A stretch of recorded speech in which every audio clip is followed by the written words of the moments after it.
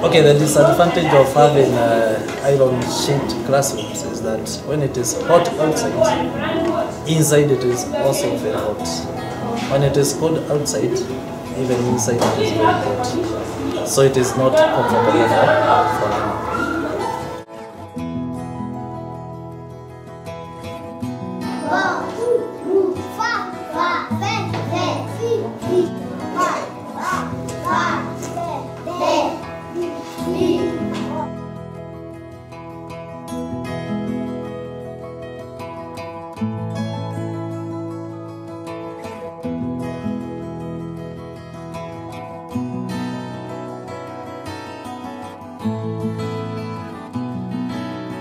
enough for